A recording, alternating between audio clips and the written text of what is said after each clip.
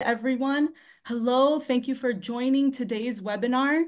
This panel explores how green infrastructure, resilience hubs, and other approaches towards community resilience can be visioned, implemented, and owned by the community.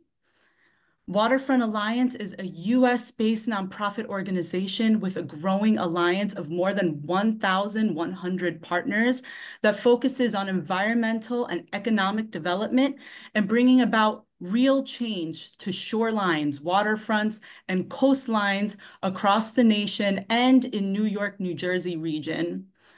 For Climate Week, the Waterfront Alliance will be centering critical climate resilience issues facing New York City through a series of webinars, roundtables dis discussions, art exhibitions, panels, and coastal cleanups. We welcome you to please visit our website and learn more about all of our events this week. Today's webinar is titled Bringing Land Back to the People, the Importance of Community Land Trusts. And it is my honor to introduce these very, very impressive panelists today. First, we have Annie Carforo, who is the Climate Justice Campaign Manager at We Act for Environmental Justice.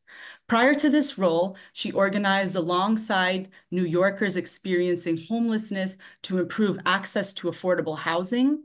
She holds a Bachelor's of Science degree in Human and Organizational Development from Vanderbilt University and a Master's of Urban Planning degree from Hunter College, where she focused on equity and sustainability in city planning. Next, we have Arif Ullah, he is the executive director of South Bronx Unite, a climate, environmental, and health justice organization. He is an advocate, grassroots urban planner, and community activist with experience in designing and managing community development programs. He serves on the Mayor's Sustainability Advisory Board, Anthropocene's Alliance Board of Directors, and the New York, New Jersey Harbor of Estuary Program Management Committee. Ashley Allen is the executive director of the Houston Community Land Trust. She has a background in nonprofit leadership, affordable housing, education, STEM, and workforce development. Her experience as a homeless youth has fueled her passion for housing accessibility and continues to be active in the community, serving on the board of Coalition for the Homeless of Houston slash Harris County. She holds a Bachelor's of Science in Food Science from Florida A&M University, an MPA from Governor State University, and a PhD in Cultural and Educational Policy from Loyola University Chicago. And last but certainly not least, Memo Salazar is the co-chair of the Western Queens Community Land Trust and is a filmmaker and longtime resident of Sunnyside, Queens. He's also a local business owner and co-runs the Sunnyside CSA, which aims to bring sustainable food justice to the neighborhood. Thank you all so much for being here and having this discussion with us today. As we begin, can you share what community land trusts are and how do community land trusts empower communities to take ownership of their land and resources?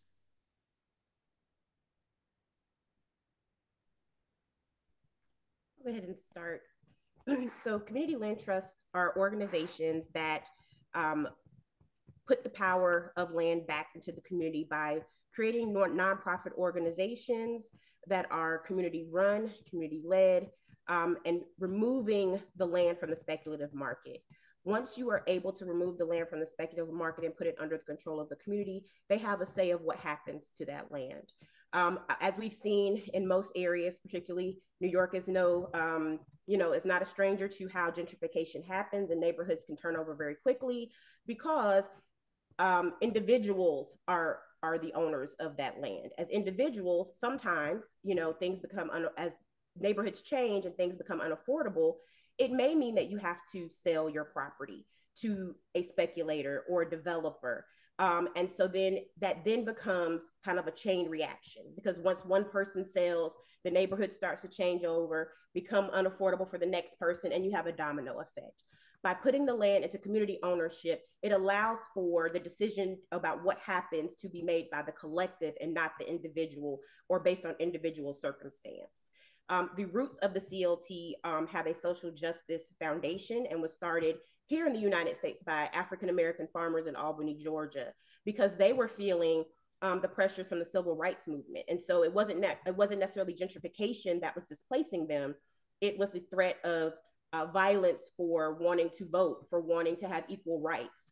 Um, and so the idea of the collective ownership created a strength within those farmers to be able to not be um, persecuted or directly uh, attacked by those who were trying to oppose their efforts for equality. So when we think about um, the CLT model and where it kind of its roots here in the United States, it is de- definitely based on the protection um, of land and protection of development um, for the greater good of that community and not necessarily outside forces coming in to dictate what happens to a community.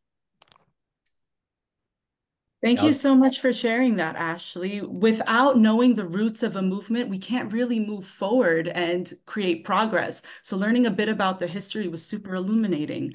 Thank you. Uh, somebody, somebody else was about to make a comment. I'm so sorry.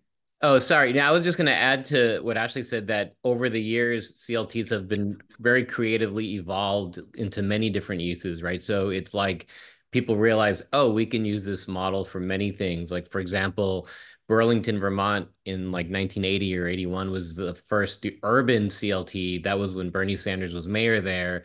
And if you go to Burlington, they have a lot of great affordable housing precisely because the people there had the forethought to build you know back when it wasn't expensive to build this community driven model that now Burlington is a much more expensive place to want to live, but there's a lot of chunks that have been pulled off the market, like Ashley said, because of the CLT. So it's like a great example of like if you put your mind to it, it future proofs the land. Uh, to and New York, New York City has had in the past there has been times when the government cared a lot about housing and unfortunately, some of the models that they built, like in New York, there's a system called Mitchell-Lama that was a series of housing that developments that um, for working class people to own their homes, but there was no way to lock in the affordability. They sort of gave people cheap homes and then said, "All right, here you go." And over the years, people then have the co-op boards have voted to flip those buildings to market rate and make a lot of money, whether for necessity or for greed or for whatever reason. But the problem is now those buildings are no longer affordable. So CLTs try to prevent that from happening by pulling the ownership out of a private pocket and into the community, like Ashley said. Beautiful. Thank you, Memo. And thank you for offering us an example of where CLTs thrive.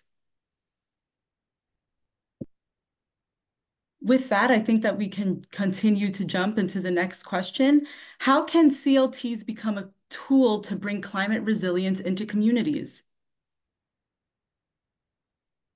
I can jump in here. Um, so, you know, we've learned CLTs have a real focus on land and community led development um, and what belongs on top of that land. And so CLTs really sit at the intersection of housing justice, environmental justice, and climate justice because oftentimes the neighborhoods that are seeing this rise in speculation, this, you know, um, uh, increased unaffordability are the same communities that have been suffering from decades of um, of targeting of polluting facilities of you know undesirable industries that are leading to higher rates of asthma higher rates of respiratory illnesses um, and also lack in climate adaptation so as we're seeing you know more heat waves coming. These are communities that are typically a lot hotter than surrounding neighborhoods that have, um, you know, had a lot more um, say over the the development of their land. Um, similar with flooding, right? So these are um, lower income neighborhoods are typically, you know, don't have functioning, you know, waterfronts or don't have proper green spaces that can absorb that extra water. And so, community land trusts, um, you know, they are they are kind of filling this gap that right now we sometimes see of the siloing of housing advocacy and justice and climate advocacy and justice um, because they are really based in community and based in in um, local examples. And so when um, you know, a community is seeing, you know, these are the things that we're missing that are um, contributing to an unaffordability crisis or contributing to, um, you know, a resiliency crisis, um, you can say, okay, and and you know, as Memo was mentioning, there's lots of different uses that CLTs can be put towards. So um, it's not only that we need housing but and maybe community health centers, but we also need green space. We also need a functional waterfront. Um, and there are some really great examples. I, I don't want to take too much from Arif of um, you know South Bronx Unite and their um, Haven Port Morris CLT actually um, taking the community's climate risks into account and saying where can a CLT um, actually come in and help because a lot of times investing in the resiliency of the community is not going to necessarily lead to um, making a profit off of that land because it's actually investing in the social infrastructure of the community. Um, and while the private market, you know, is not super interested in um, development that's not going to lead to a profit, community land trusts are, and so they can really fill that need. Thank you, Annie. Thank you so much. Arif, that that makes me think, how does South Bronx Unite address the challenges of urban planning and development within the framework of a CLT?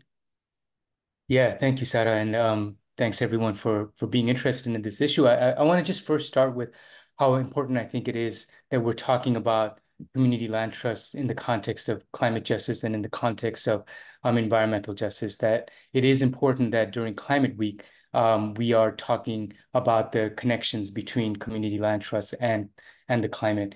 Um, and just to pause on um, the sort of larger issue for a moment, um, and you know, land and, and climate, land and environment, you know, for for many years, um, centuries, um, land has been used to displace. Land has been used to uh, pollute. Land has been used to subjugate, oppress, etc. Um, and to pause and and dig a little deeper into the pollution aspect of how land has been used um, and connected more directly to um, you know, climate and and and um, you know what what a lot of people um, here are interested in. You know, policies like redlining, you know, um, and and uh, subsequent policies throughout the 20th century have basically relegated communities like the South Bronx and other frontline communities um, as less than, um, as um, not worthy of investments, um, and um, literally prevented um, uh, the resources to be directed to these sorts of communities. What that resulted in was these communities then being basically uh, dumping grounds um, for polluters, right? Whether it's waste, uh, whether it's water, whether it's air, um, these communities, as a result of redlining, as a result of urban renewal policies, have then become, you know, these what's called, you know, sort of quote unquote disadvantaged communities, environmental justice communities, disproportionately pollution burdened communities. So there is that very strong link between land use um, and and, and um, you know, climate and environment.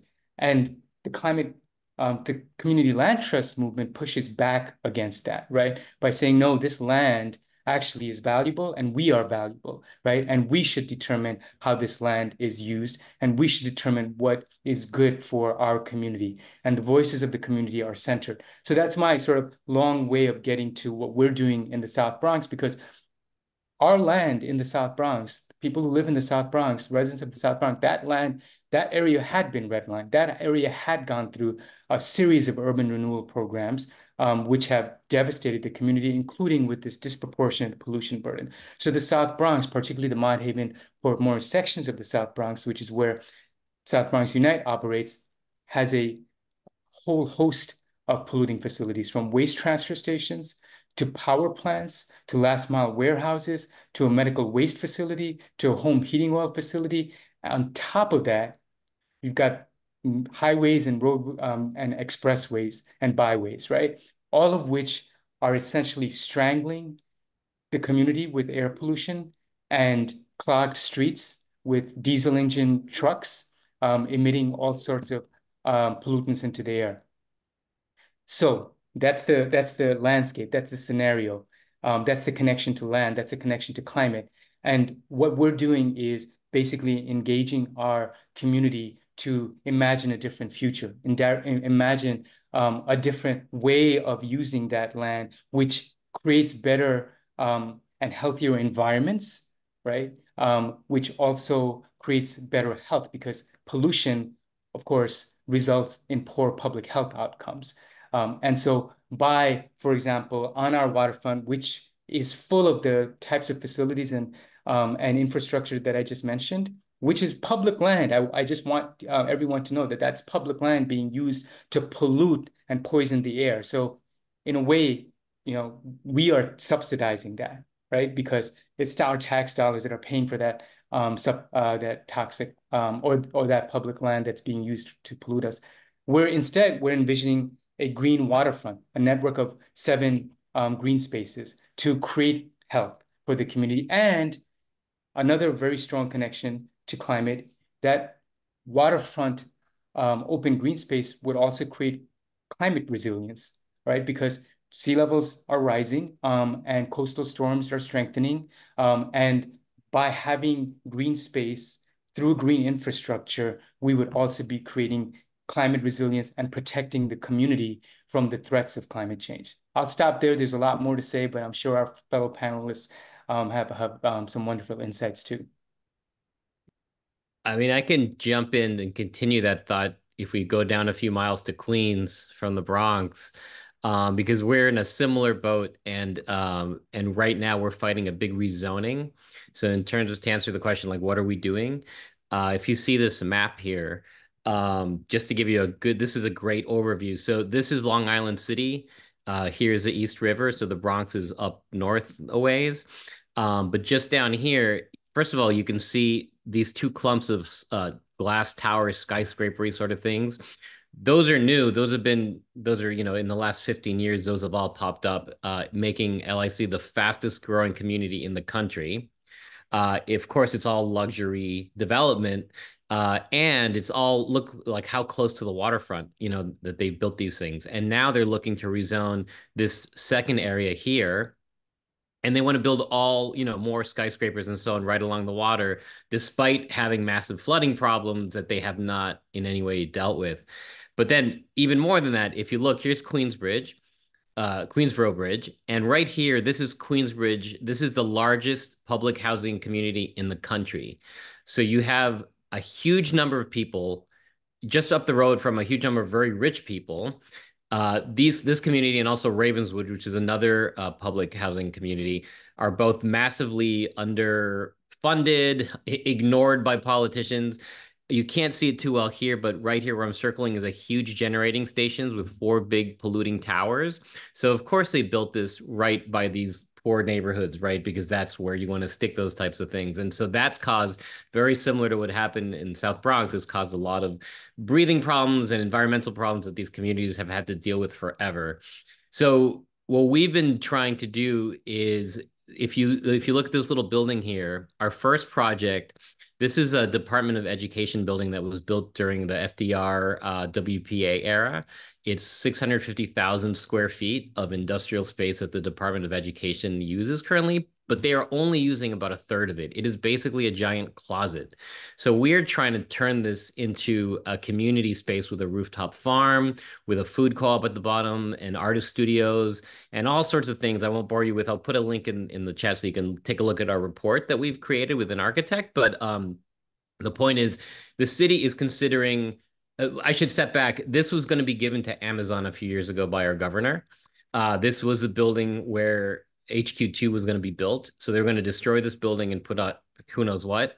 So from an environmental point of view, the carbon, just the amount of carbon released by demolishing this building is a huge waste, especially when this building is perfectly functional and could do a lot of good for the community. So we're and now they're considering rezoning this building and turning it into uh, mixed use, which would allow more residential development, which would allow the, demolishing the building to put up a residential luxury tower. And so that from a climate perspective is incredibly irresponsible. Um, so we are trying to fight that rezoning and and advocate that they not there are four public parcels here in this area. And we're advocating that none of those public parcels be rezoned because if they would, they would allow private development. And like Arif said, that's our public land that should not be used for that.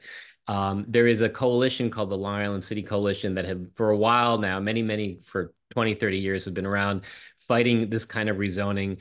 And they have an amazing waterfront park similar to what Arif is talking about that would turn all this land into a, a flood mitigating public park.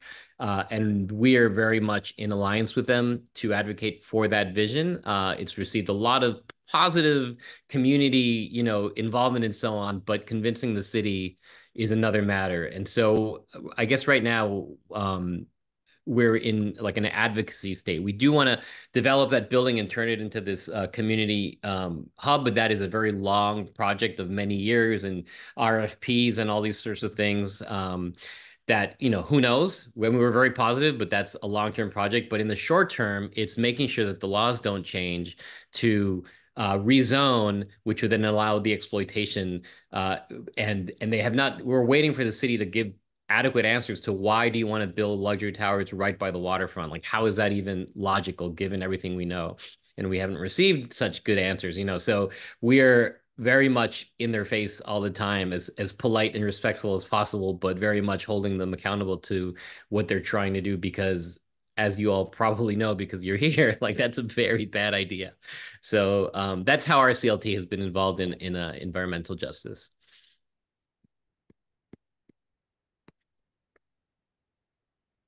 you, Memo and Arif, for your super rich answers. It really illuminates the way that CLTs have the potential to eradicate the systems of injustice. Sara, I think Sara, Sara we're having trouble with your mic. Yeah. No. How do you hear me now? A little better. How about now? That'll work. better Okay, so I just have to be very close to my computer then at this point. I, I was saying thank you, Memo and Arif, for bringing up all of those points that illuminate how CLTs are a part of a solution that can eradicate the systems of injustice that brought us to the climate crisis to begin with. Thank you. Thank you so much. I back down, it's going back down. About to jump in. Oh, there we go. Oh. Uh, No, I was saying your, your volume was going back, was going back down a little bit. How about now? I'm going to speak louder. I'm so sorry, everyone. It was perfect before. it was absolutely perfect. Uh, Ashley, since you were, since you just came up, can you share some examples of how the Houston Community Land Trust has successfully implemented resilience hubs and other resilience strategies? Yes, so as um, many people know, um, Houston is definitely impacted by climate change. We uh, recently were um, hit with a hurricane, Hurricane Beryl, but just a few weeks before that, we had what was called a derecho and really damaged um, a lot of Houston. And that's just a result of just the different temperatures um, occurring in the Gulf and, you know, climate change happening um, and it was very unexpected. We thought it was just going to be a rainstorm, and it ended up like blowing out the windows of a lot of our high-rise buildings, knocked trees down, people lost power. Um, so we are definitely a place where we have to be prepared for natural disaster, climate-related um, instances. We also flood a lot um, here in Houston, um, and so when we're thinking about um, housing and where housing is being built, um, particularly affordable housing, um, we have seen historically it be placed in areas that are um, environmentally hazardous. We actually had recently a community that was being impacted by a creosote site. It was a creosote site due to railroads. Um, and there were high rates of cancer to the point where they identified it as a cancer cluster. Um, and then the city was still allowing people um, to build in that area. And so we have our city policies being supporting um, housing being placed in areas that we know are dangerous. Also, being able to continue to build in areas that will now reduce kind of our flood mitigation. So we are always having to think about how do we combat some of the policies that are being put in place to encourage um, non-resilient building. And so one of the things that we've done, some of our strategies, one, um, the city does have um, in, in some of our partnerships, and we also include this is environmental scans before um, somebody can purchase a home through the CLT. If we find out that the home is near things like uh, concrete crushing plants or dump sites, we won't allow somebody to buy that home and put it in the CLT. Secondly, um, because we are we flood a lot, and again because of the way the kind of non-zoning policies that we Houston doesn't have zoning, which I know is weird for a lot of people to understand, but um, we don't have much zoning. So people really do build wherever, and that can create flood mitigation issues. And so we do not allow for people to purchase in a 100 year floodplain area. So we look at the floodplain map, and if it's in a 100 year floodplain, we won't allow for that home or that property to be placed in the CLT. And then also, if you are in a 500 year floodplain, which just means that you know, you have less likelihood of flooding, but it's still a possibility. We require flood insurance. And so then we have that conversation about affordability because flood insurance is expensive. So we do kind of have to weigh that out with each um, with each buyer in our CLT. Um, other things are um, providing resources for um, within our newsletter and just communications about how um, things that you can do to better protect your home. Um, it's your biggest asset for most of our homeowners, um, home by uh, homeowners in our program. And so just making sure that they are aware of things like um, window insulation and, you know, roof uh, conditions and things like that. Also, things like French drains to make sure that the water is running where it needs to be to prevent flooding and deterioration of properties. Um, and then also, we've had to come up most recently after the most recent hurricane, um, a disaster recovery plan. Um, because what we've seen is people um, who are limited income usually are uh, the least um, have the least access to federal disaster dollars, and they don't know how to um, navigate the insurance um, industry, and because it is difficult, and they don't want to pay out, and so just being able to make sure that we have a plan, because in Houston we know it's not um, if we have a disaster, it's when, and so we always make sure now kind of putting these pieces together so that we have a way to really get out there and help. We have 200 homeowners in the CLT across the um, entire county and across Harris County. And so that's a very, very large area to cover. And so we're trying to figure out different ways to be able to um, disseminate resources, connect people um, to resources, and do interventions um, very quickly. So that's kind of what we're working on is disaster recovery policies, kind of preventive measures, but also reactive measures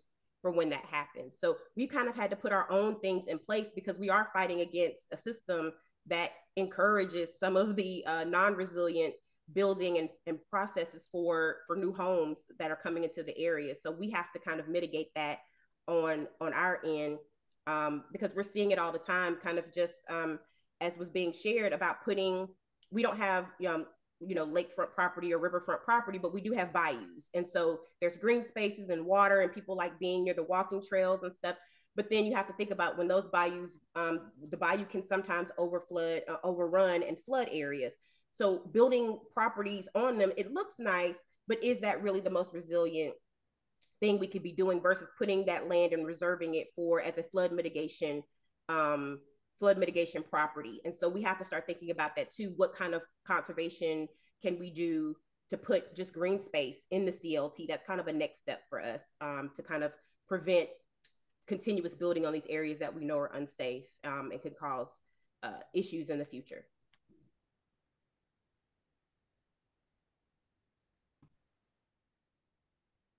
Oh, Sara, you're you're you're down again.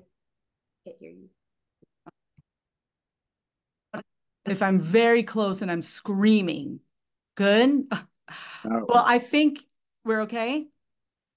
I think that that is a wonderful segue into my next question, which is what are policy changes that are necessary to support the growth and sustainability of CLTs in urban areas? Go ahead, Reed. Uh, you, you can you can get us started, Annie. Feel free. Okay, I can I can start us off quickly. And uh, you know, New York City has a, a, burgeoning and growing CLT movement. We have now to date over 20 community land trusts that are in different stages of formation and and, uh, acquisition, and that's really exciting. And at the same time, land in New York City is incredibly, incredibly valuable.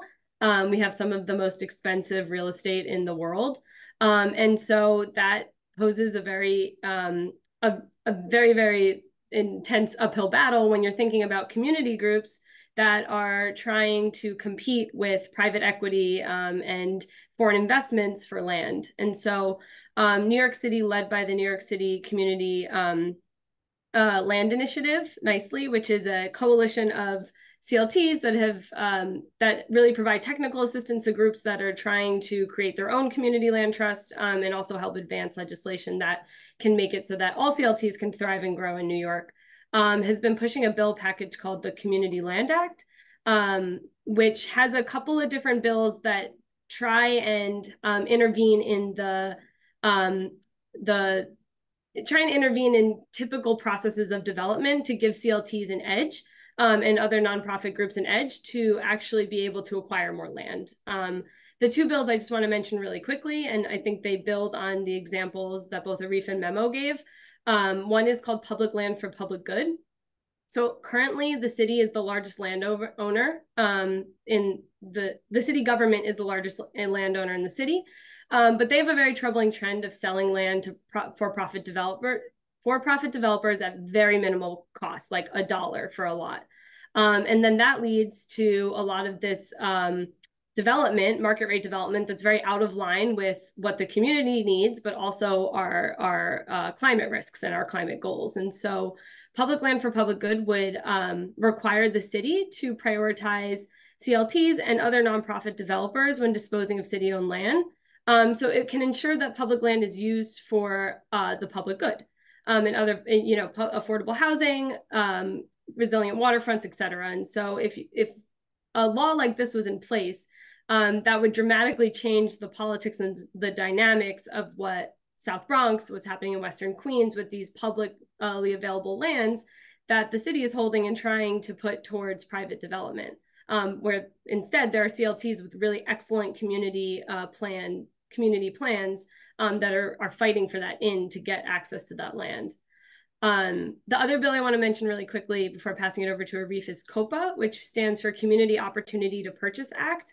Um, this would give, again, CLTs and other uh, mission-driven nonprofits right of first refusal or right of first purchase to multifamily buildings when a landlord sells. So what we see in New York is um, rental housing that gets stuck in the speculative cycle where uh, you know a landlord buys it they see it as an asset or an investment um, and they invest as little as possible into the building while charging as much as possible to make as much money off of people's homes but housing is social infrastructure and buildings that get stuck in that um, cycle often see really terrible conditions deterioration um, and that has climate risks in itself if you can't stay safe in your home if you can't keep your home cool or keep your home warm um, or keep your home from flooding when it rains, you know, you are at greater risk for um, climate, um, for for uh, extreme weather than somebody who's in a home that they they care for and that's invested in. And so, uh, COPA would allow CLTs to um, get the chance or the opportunity to actually purchase those buildings,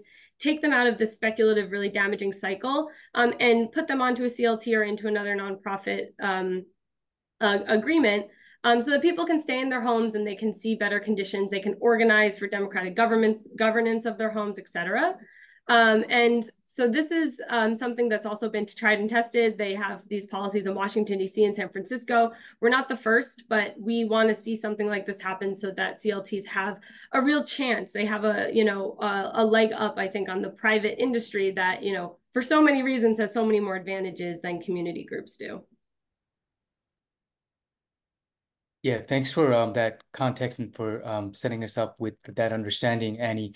Um, I'm so glad that we're talking about policy, public policy legislation, because um, I don't think um, it's uh, we can overemphasize how important that is, right? Um, the uh, pollution burden that uh, communities like the South Bronx are forced to endure and have been forced to endure for many decades, as I stated earlier, is, is a result of um, you know policies, public policies, is a result of um, how these communities have been zoned, um, is a result of what types of permits um, have been given to polluting industries. Um, and I'll just give you one example before talking about a piece of legislation on the city level of how we have been able to use um, legislation as a tool to uh, hopefully improve health outcomes uh, in, in a community like the South Bronx. Um, a couple of years ago, um, in collaboration um, with the leadership of WE ACT, we participated in um, a campaign to pass um, um, at the state legislature level uh, a bill called the Cumulative Impacts Legislation.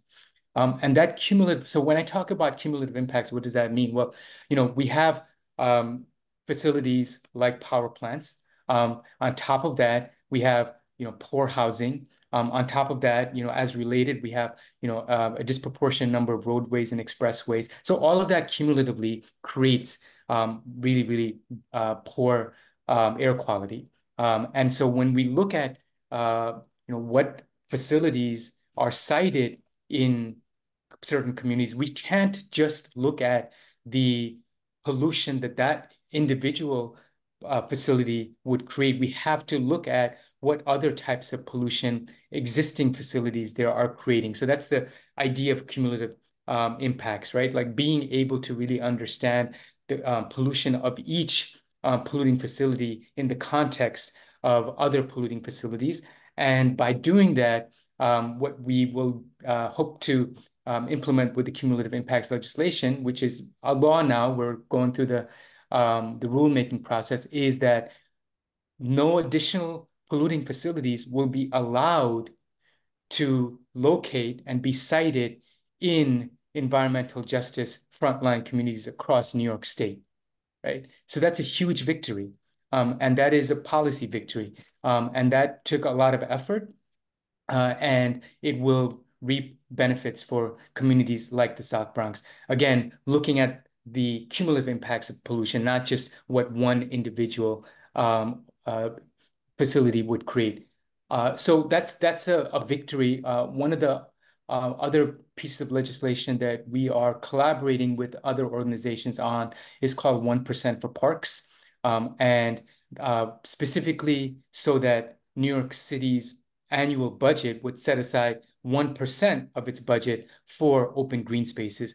There is a lot of inequity um, uh, when it comes to open green spaces um, across the city. And just like inequities across so many different issues, green spaces are not um, immune to that. Uh, and so uh, there hasn't been enough investment in open green spaces in communities like the South Bronx. Um, so this uh, piece of legislation would not only increase the budget for green spaces, but also create equity um, in terms of how green spaces are distributed, um, how green spaces are, are managed and stewarded, um, and also just how how green spaces are informed. Like, are these green spaces actually meeting the needs and priorities of community members? Um, the last thing I'll say is Annie mentioned public land for public good as part of um, a uh, package of legislation that the New York City Community Land Initiative is working on. Um, and that is, of course, um, focused on, on housing, um, but also on green space, right? So the the uh, land that I described earlier on the waterfront, that again is public land, and we would be stewarding that land under the um, under the um, uh, umbrella of our community land trust. Uh, and so, you know, when we look at community land trust, oftentimes we think about housing, um, and which is, of course, critical um, everywhere, uh, especially in a place like New York City. But um, you know, we it, it also includes um, a variety of spaces, public spaces, um, including green spaces. And so um, with the public land for public good um, legislation, we would be able to also uh, create more green spaces, but also give community members uh, basically say over how those green spaces are used. In short, self-determination. Thank you. Yeah, I to add to that, I mean, just so people, because CLT, the concept of CLT is sometimes not easy to wrap your head around. It's it's really not that complicated in the sense of like it it's just a mechanism within capitalism for people to take land ownership you know it's just sort of like it seems overwhelming how you could do it as an individual or as a person with you know as a company with rich deep pockets or whatever. So all the clt i mean it's really you're just incorporating yourself as a nonprofit as a you can, you can start as a nonprofit and then move up to the 501c3 level which opens to getting more funding. But either way it just gives you that sort of legal structure to then go talk to elected officials and get some of their discretionary funds or or apply for grants or funding that is only open to nonprofits. So because we built this system where a nonprofit is sort of the entity that's been recognized by the state, CLTs are just like, okay, we're going to play that nonprofit game in the name of people. You know, it's not anything more than that, really. And so, I mean, there's bylaws you have to create, and obviously you have to understand the legal ramifications and funding and all of that stuff. But like, that's all it really is. And so everything everyone is saying, it's like it's this all a community land trust is and and the basic thing of of separating the land from the building just allows a clt to kind of hold the deed and be the conscience of the community while whatever group is running the building itself does what you would do normally you know the only difference is the clt sort of like Jiminy Cricket being like, ah, you can't do this because we agreed that the community owns this land. It's really all it is. So, you know, I think um, it's been cool to see since I've been involved how many CLTs have been popping up in New York City because people really recognize we're in trouble and the city is now coming up with solutions and CLTs are just the way you can sneak in there. It's really all it is. Beautiful. Thank you so much. Does everyone hear me better because I have headphones on with, oh, yay, the problem has maybe been solved. Oh, knock on wood. Uh, fantastic. So, what strategies have you all found most effective in engaging and mobilizing communities around the concept of a CLT? Um, here in Houston, I think uh, it was very challenging because I think when we first started, um, homes and, and rents were actually affordable. I mean, the average person, the average income uh, in Houston would allow you to have a decent apartment. That was just, you know, five or six years ago. We saw it happening in communities that are now experiencing rapid gentrification. We're saying, like, mm, we think that something's going to happen um, as other cities become unaffordable. I think we're going to need to kind of find ways to protect you know the affordability and nobody listened. Everybody was like oh no we're so affordable. And in in less than five years the average um, the income required to buy the median home in houston right now is almost $100000 to buy the average home where it used to be. If you were a teacher or a bus driver you could get a nice starter home. Um, and now it has gotten so far removed. Any most people um, again around the average income cannot access a uh, access a home even the quote unquote affordable homes.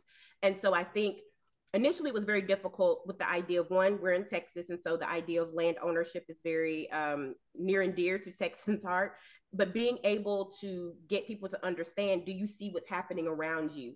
I had to go into i was a community organizer in chicago and had to bring that to Houston because it does not have a, um, a, a foundation of organizing here. And so people were kind of just off and saying, okay, well, what's happening? And being able to actually go and meet people where they are to say, look around what's happening in your neighborhood. And they could look around and say, okay, I see housing, I see development, but I can't afford that. Nobody in the community can afford that. So what's happening? And so I think that visual, because you know, when somebody's saying this is going to happen and you're like, well, they've disinvested from my neighborhood for so long, they're not going to come here. And people really started to believe that. So then as it started happening, the visual of development happening that did not include them, I think is what really helped and us going into the community and having those conversations. We didn't go in and just say, hey, we're a CLT, you can buy a house through us and not own the land. It was more so, hey, those relational organizing um, strategies of let's have a conversation about what's really happening in your community and what are solutions. And so then when you could see, seeing is believing. And so us to be able to point to a home to say, well, this home could be put into the CLT and we can make it affordable at this price. Um, and now that we're getting ready to move into rentals, being able to say, well, here's a rental apartment that you won't be kicked out of as your income increases. Um, that we see like in public housing. We're going to stabilize your housing costs so that you can thrive, so that you can catch up, so you can catch your breath in an economy where things are going up daily and housing, we're losing it by the day. So I think it was really just going to where the community was and actually having a conversation about what was going on. We went to churches. We went to the grocery store and had tables up in front of the local grocery store. We did door knocking. We actually had a business owner who was also a community organizer partner with us to help make those connections in community so it didn't look like outsiders were coming in to just offer up you know this program that was backed by the city uh, financially. And that can also be an issue because people feel as though city government, federal government has disenfranchised them for so long. They're like, mm, we know you're a 501c3 nonprofit, but this is also a city program. And so being having that conversation too about, um, as Memo said, being the conscience of uh, of what's going on here and being able to say, no, no, we're the people that are going to ensure um, that what we're saying is going to happen and that the city cannot come in and change that um, because that's what has happened before, where people were given, you know, free homes or, you know, as, a, as a, a type of reparation for what happened to their communities, but then were taxed out as gentrification happened and these people were displaced again. So having to create that trust was the first thing and then going into their communities not having community meetings downtown or you know via zoom but going into their local library and community centers and saying hey we're coming to you um, and, and we're having these conversations about solutions and not just talking about the problem. And I think that was kind of how we were able to get people engaged and to give us a chance because everybody was like, oh, CLT, I'm scared. But when they saw again that we were coming in to them and hearing them and addressing their needs directly, I think that actually helped. It wasn't easy. We were fighting against a lot of outside forces, especially just the mindset of what ownership looks like. Um, and and that was a challenge but i think again creating that trust first and then implementing programs helped yeah and so in new york we it's a slightly different version of that because things are super expensive people really aren't stuck on the idea of owning they've kind of given up that they're going to be able to own anything they're kind of like look i just want to be able to afford my rent never mind buying something and so but the trust still ends up being the same thing. And I mean, one thing people need to understand is how hard it is for a CLT to thrive in a world where the government has decided not to put any money towards this. You know, like there's no like the whole austerity mindset does it's just you're fighting a machine every day that like you know if this was FDR era where he was like you know a chicken in every pot and a house every you know for every American that was a different time. And they were throwing money. Of course they were only throwing money at certain races right? But like that notwithstanding like the government recognized the value of housing and that is no longer the case because you know giant corporations have been buying up the stock to make money off of and it's become a profit agency and not a place for homes. And so it's really hard. And so the only thing we have is the fact that we're going to parks and we're going to like public events and we're tabling and we're meeting people and we're you know like constantly talking having zoom calls or in-person calls with people to just promote the idea and work see how we can work with them and spread the word and so on. And i mean the the qps uh, building vision that we have that i talked about earlier is an exciting tangible thing. So when people see that like their eyes light up and they see oh wow like this is possible. And so that's like your way into getting people to start thinking about this whole model and everything but you ha- there's no way around it. We've been doing it for several years. We still don't have a property. I mean we're we're we're starting to there's one that might happen. It's very exciting but you know it might not happen. I mean it's like it is a long road. So you have to really have faith that like if you build it they will come. And i do think once people start to see and and they're like what? You live in that place and you spend how much on rent? That's crazy. Like it word will get out but until we have something to prove that the model works it's very difficult because it's all it's very theoretical you know? It's it's we we've seen models work but that doesn't mean that yours will work. There's so many ifs and buts so you know we just have to keep fighting. That's right. You keep fighting. You meet the community where they are at. You let them speak for themselves because they are the experts and then hopefully the progress will come, but it will because people like you all are working on this. We have time for one more question and then we'll go into the Q&A. My last question for you all is what do you see as the future of CLTs? I, I can start. I think uh, in New York City, at least, there's a real um, uh, movement happening. Um, it's strengthening. There are more CLTs um, that are, are, joining. There are more organizations that are seeing the value um, and importance of um, of community land trust as a real vehicle for self-determination and as a real vehicle to um, assert ourselves in in spaces um, and um, really inform how those spaces should be used. Um, and so I'm encouraged. Um, I think that there's some momentum behind the legislation, whereas in the past um, we wouldn't have had uh, city council members championing um, piece, uh, CLT legislation. We have that right now um, within um, New York City's Housing and Preservation Development um, department, there are there is now a CLT department. As small as it is, it's still progress. And so I'm encouraged. Um, I'm hopeful that the movement will only grow and strengthen. I can jump in quickly. Um, you, I think that uh, everything Arif said. I, you know, I think that WE ACT is really excited. We are one of these organizations that, like, historically was not very involved in the CLT movement because it was so focused on housing and, and thanks to the South Bronx um, and in Western Queens CLT, there's been this push towards um, CLTs being at this intersection of housing and climate justice. And um, We ACT really wants to use um, the resources that we have to support that. Um, we Act back in April was selected to be um, one of the environmental justice thriving community technical assistance centers through the EPA. and this is, is serving as a liaison to help um, smaller nonprofits and smaller community groups access um, some of the landmark funding that's coming from the federal administration, from the bipartisan infrastructure law, Inflation Reduction Act. These are, you know, once in a uh, generation investments in climate and climate resilience, and CLTs um, should be accessing those funds. Um, and so the TCTAC is there to act um, to help smaller organizations that have less capacity. Maybe this is their first federal grant that they're applying to, um, or maybe they don't have a grant writer on staff because you know they're they're nimble and they're they're lean. Um, we're there to help with every step of the process to make sure that people actually have that these groups actually have a chance to compete for some of these awards. Um, and so we want to see more of the CLTs in the city applying for some of these climate um, grants and uh, that's you know like an immediate future for CLTs, but I, I I see CLTs taking over New York, and that's kind of my hope, and and we'll get there eventually.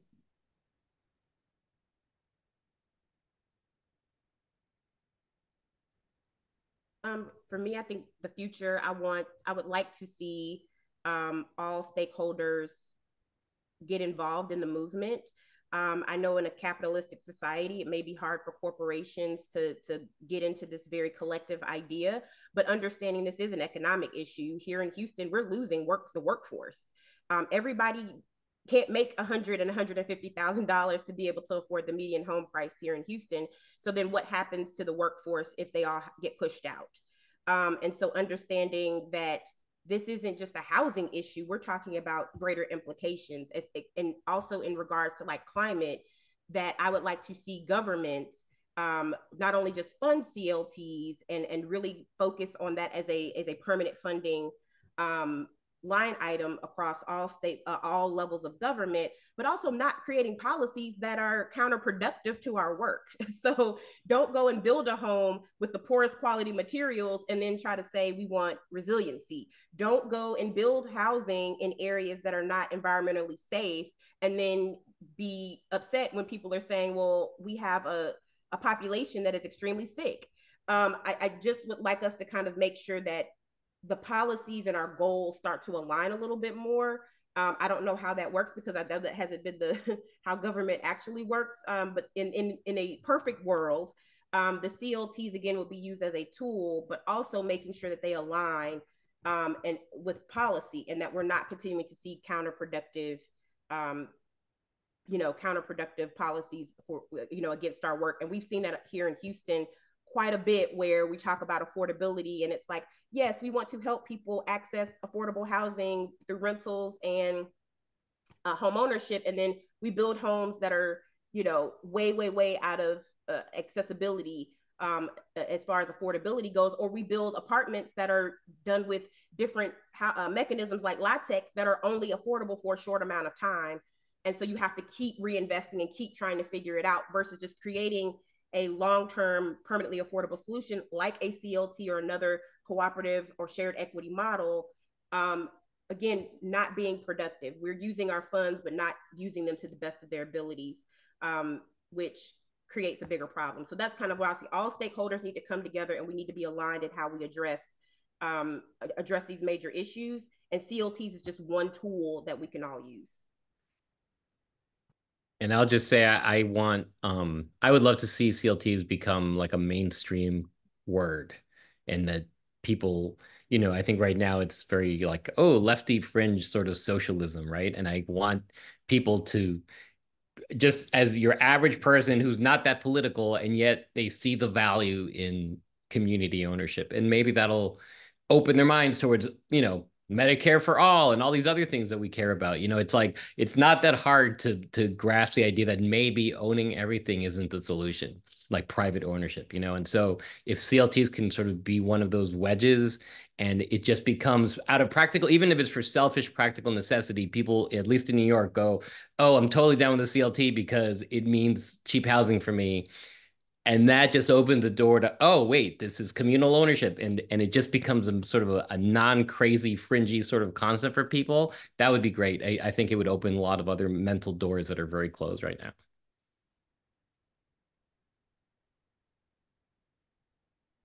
Wonderful, everyone. It sounds like the future will be CLT. We have time for one question from the audience. And the first question is, where does the money come from to actually purchase land in New York City? Purchasing land slash buildings requires millions, and you're doing it without a strong revenue plan, which then makes loans more difficult to secure. How does financing for CLTs in New York work? I can talk a little bit about our experience, um, and it may be somewhat of a unique experience um, because um, it is a city-owned building. Um, so we were, uh, through years of advocacy, we were able to force the city to release an RFP, uh, request for proposal for a city-owned building, which had been lying abandoned and derelict for more than 10 years. Um, and we won that RFP response and we were able to secure that building. Um, and we are now turning that building into a community hub and a community center. Um, along with the um, with with the winning of the building, the city has given us $12 million. And since then, we've been able to um, raise a few more million dollars.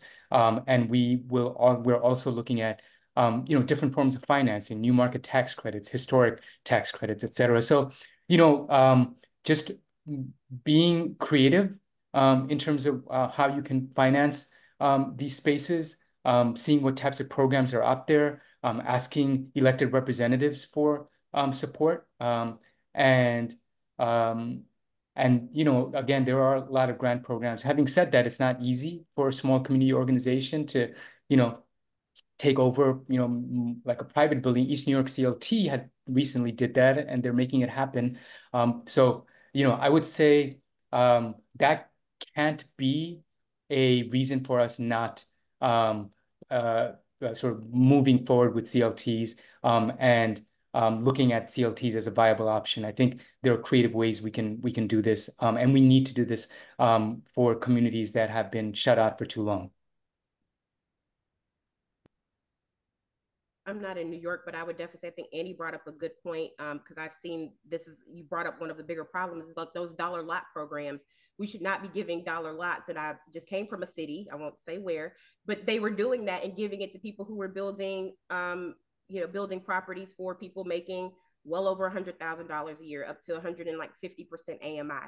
That shouldn't be. There are ways cities and municipalities own a lot of land that they're just sitting on. So it's not impossible to transfer that ownership to, you know, a, a community group. I think there's advocacy there. We're fighting the same thing. It's like you're just sitting on land and lots. There's several organizations um, in, in Houston as well. And again, Baltimore is one of them where I know that they were able to get land um, and buildings transferred um, to their uh, CLT and to other community groups But I think that is kind of going to be the easiest lift because yes, things are too expensive for most small nonprofits to actually purchase. But if you're not doing anything with the land and it's just being, it's just sitting there and there are no plans for it, which most cities don't even have the capacity to make a plan for all of the land and buildings that they own. I think advocating for that simple transfer over to a community organizations where they can use their funds that they raise not for purchasing, but to renovate, rehab, upkeep, and operate versus actually doing acquisition. I think community groups should not have to be acquiring um, land through purchase. It should be a it should be a transfer, and that's going to be a fight that we have to fight um, because it's not like they don't have it. Every city has a bunch of land and a bunch of buildings that they're not doing anything with.